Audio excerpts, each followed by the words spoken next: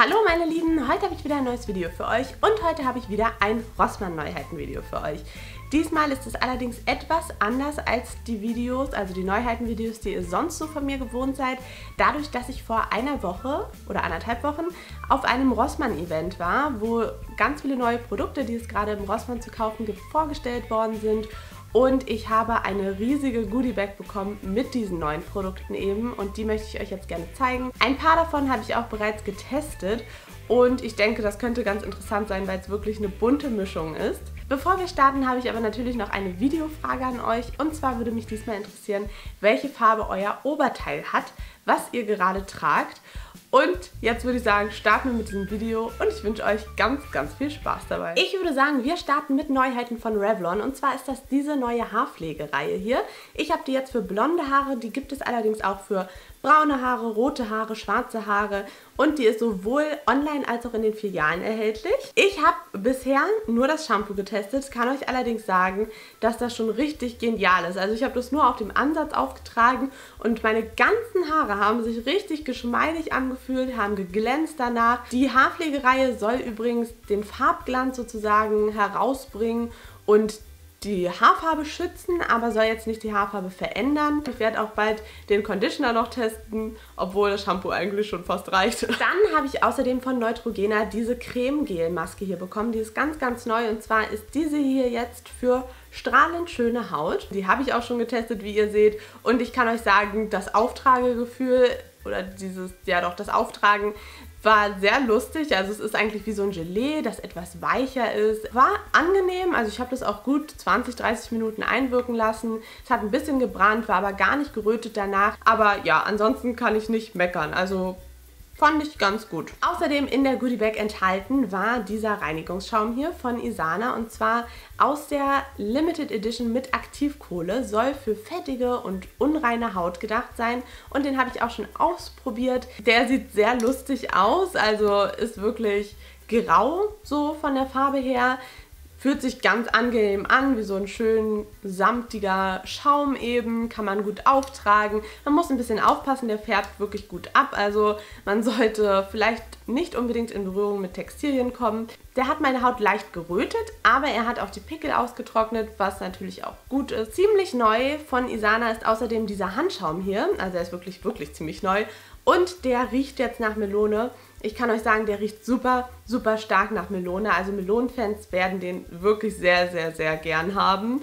Ich finde das Design mega, mega niedlich. Also es ist wirklich sehr gelungen. Wie ich finde, gibt es auch noch in einem orangefarbenen Design Schäume, also Handschäume, Duschschäume, Reinigungsschäume mag ich eigentlich immer. Außerdem habe ich dieses Après-Spray hier bekommen. Das ist ein Zwei-Phasen-Après-Spray aus einer Limited Edition mit süßem Ananasduft. Und ich sprühe das hier mal kurz auf. Riecht wirklich, ja, riecht wirklich sehr stark nach Ananas. Obwohl sehr stark, also beim ersten Mal riecht es ziemlich stark. Wirkt sehr erfrischend. Also ich finde, es ist ein angenehmer Geruch.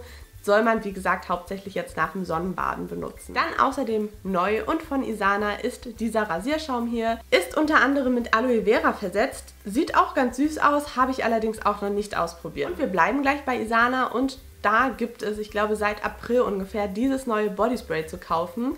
Also von Isana gibt es das neu zu kaufen. Das ist das Crazy Melon Body Spray und dazu kann ich euch sagen, das ist auch sehr erfrischend. Es riecht auch nach Melone, allerdings sehr viel dezenter als der Handschaum, was mir ganz gut gefällt, weil das, das ist so eine Mischung aus sehr fruchtig, aber auch etwas süßlich. Ich kann zu Body Sprays sagen, die halten eben nicht so lange wie ein Parfüm, aber wenn man die zwischendurch immer mal wieder aufträgt, ist das eben erfrischend und riecht auch gut. Worüber ich mich auch sehr gefreut habe, ist dieses Kaffeepeeling hier von Body Boom. Und zwar hatte ich ein ähnliches Kaffeepeeling ja schon mal von Hello Buddy, was ich sehr gut fand. Das hier ist jetzt von Body Boom, wie gesagt, und mit Mango außerdem versetzt. Soll für spürbar glattere und straffere Haut sorgen, also ja, cool. Es ist etwas kleiner als das, das ich von Hello Buddy hatte und ist allerdings trotzdem für 10 Anwendungen oder bis zu 10 Anwendungen gedacht. Also ich bin gespannt. Jetzt im Sommer neu ist außerdem diese Lipppflege hier aus einer Limited Edition von Isana und zwar die Tropical Lippenpflege mit Vitamin E und Kokosöl. Die habe ich jetzt noch nicht getestet, weil ich sehr viel Lippenpflege da habe und die eventuell irgendwann verlosen möchte. Nicht mehr ganz so neu ist diese Tagespflege hier von L'Oreal und zwar die Hydra Genius Tagespflege. Soll für normale bis trockene Haut gedacht sein, also die Variante, die ich jetzt habe. Und ich habe schon so viel Gutes darüber gehört und kann sagen, dass sie als Primer vor der Foundation wirklich super funktioniert. Sie lässt sich gut einarbeiten, zieht super schnell ein und deshalb kann man direkt danach das Make-up auch auftragen. Was jetzt irgendwelche anderen Effekte angeht, kann ich euch nicht wirklich was sagen. Also ob jetzt meine Haut reiner geworden ist oder wirklich sehr stark mit Feuchtigkeit versorgt wurde. Sie fühlte sich danach irgendwie nicht so an, als ob sie mit Feuchtigkeit versorgt wurde, was ich allerdings auch nicht ganz schlimm finde. Also es ist ja eigentlich schön, wenn es leicht ist und die Feuchtigkeit trotzdem gegeben ist, aber man es halt nicht überall im Gesicht sieht so. Ein weiteres Produkt, das auch nicht mehr ganz so neu ist, aber eben trotzdem in der Goodie Bag drin war und ich euch deshalb gerne zeigen möchte, ist dieses Wimpernserum hier und zwar von For Long Lashes. Das kann ich euch natürlich nicht wirklich sagen, wie das funktioniert. Das hätte ich viel, viel länger testen müssen. Aber es klingt spannend, wie jedes Wimpernserum. Ein weiteres Produkt, was auch nicht ganz so neu ist, aber etwas neuer schon noch ist dieser Make-up-Radierer hier. Das ist ja so ein Waschlappen, der nur mit Wasser funktioniert und das Make-up abbekommt. Also ich hatte von anderen Marken schon mal sowas und da hat es wirklich super funktioniert. Habe aber auch schon von ganz vielen Leuten gehört, dass die das ganz, ganz toll finden. Dann neu von L'Oreal sind ja außerdem drei Zuckerpeelings, glaube ich. Unter anderem dieses hier, was ich auch mir mitgenommen habe vom Rossmann-Event. Und zwar ist das ein Zuckerpeeling, das mit drei feinen Zuckern und Kakaobutter versetzt ist. Also klingt super lecker oder riecht bestimmt super lecker. Und auch dieses Zuckerpeeling hier haben mir schon ganz, ganz viele von euch empfohlen. Also auch darauf bin ich sehr gespannt. Von Altera wurde mir außerdem dieser Eyebrow Styler hier mitgegeben. Und zwar ist Altera ja eine Naturkosmetik-Marke, wie ihr vielleicht wisst. Und der soll jetzt hier einfach die Augenbrauen fixieren. Gibt auch, glaube ich, leicht Farbe ab und ist jetzt für blonde Augenbrauen gedacht denke ich. Also so sieht die Farbe zumindest aus. Ich kann mir vorstellen, dass es den auch noch für dunkle Augenbrauen gibt. Außerdem kann ich euch sagen, dass bei diesem Event eine Rivale Loop Theke aufgebaut war, eine Rivale Loop Young Theke und eine Revlon Theke und man sich einfach das nehmen durfte, was man gerne wollte. Also so cool. Ich zeige euch jetzt hier mal die Produkte, die ich mir so mitgenommen habe, die von Rivale Loop jetzt sind.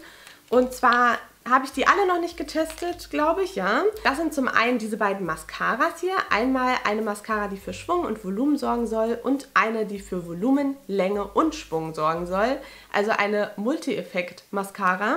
Dann habe ich mir diesen Lip Color hier mitgenommen in der Farbe 03 ist sehr, sehr matt, also ist ein matter Lip Color oder matter Lip Gloss, wie man auch immer sagt. Und eine ähnliche Farbe, die ich mir nochmal im Lippenstiftformat mitgenommen habe, ist die Farbe 05, die ebenfalls matt ist. Dann gibt es neu im Rivale Loop Sortiment diese beiden Nagellacke hier. Das sind Ultra Gel Nagellacke.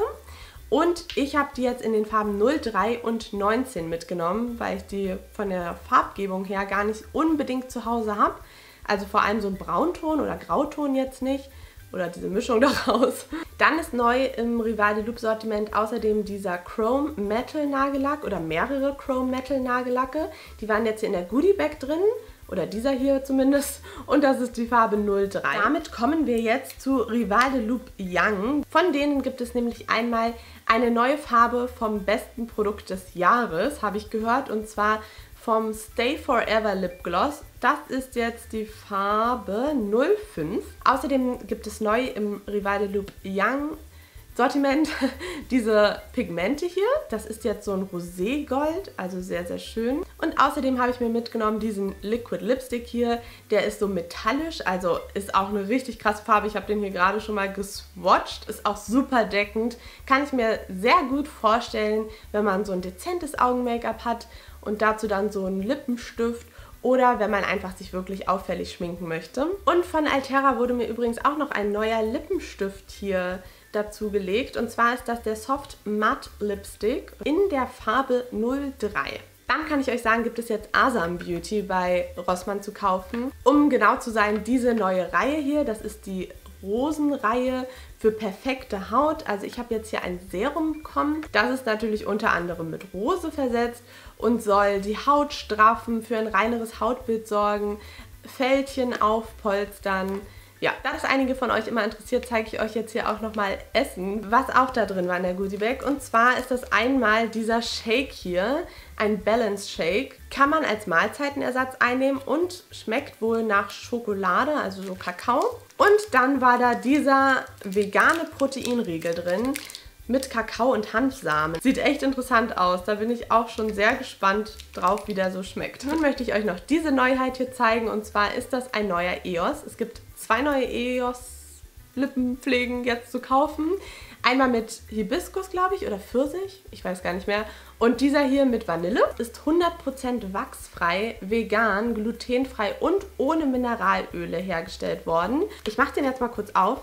Ich kann euch sagen, bis jetzt mochte ich EOS sehr, sehr gerne. Ich habe gehört, dass es bei manchen nicht funktioniert hat.